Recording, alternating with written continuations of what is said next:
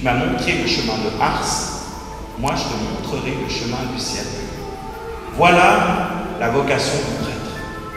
Pour fêter les, les 10 ans de sacerdoce de notre pasteur, le pasteur de cette paroisse?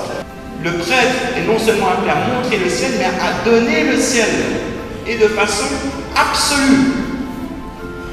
Non pas par sa personne, par les sacrements. Vous ferez cela en mémoire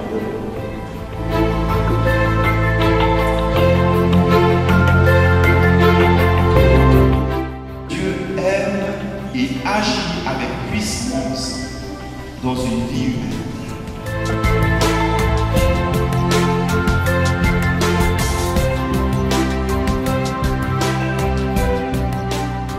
Et ensuite, une fois que vous avez reçu cet amour immense de Dieu, à vous de le montrer et de vous donner au monde comme une hostie vivante.